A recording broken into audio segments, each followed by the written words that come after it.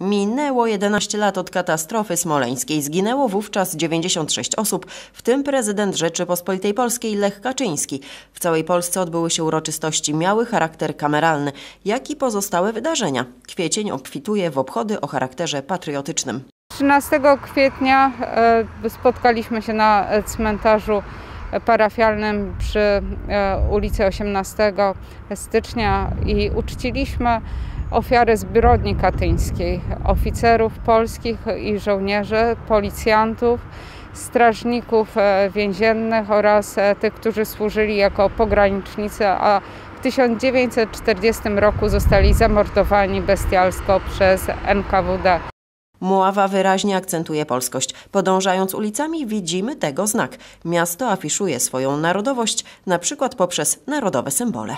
Dzień później, 14 kwietnia, cała Muława pokryła się biało-czerwonymi flagami. Wywiesiliśmy je na e, jednostkach zarządzanych przez miasto Muława, aby uczcić po raz pierwszy na taką skalę e, Dzień Chrztu Polskiego.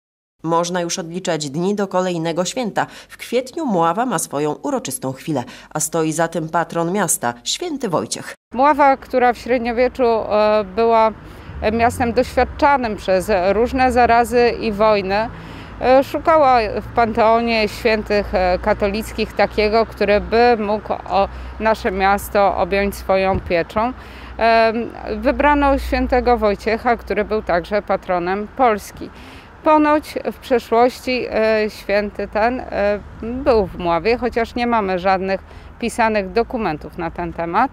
Natomiast e, legenda głosi, że w drodze z Czech do Prus Wschodnich zatrzymał się na chwilę na wzgórzu Kozielsk, które w tej chwili jest wzgórzem cmentarnym i tam nauczał.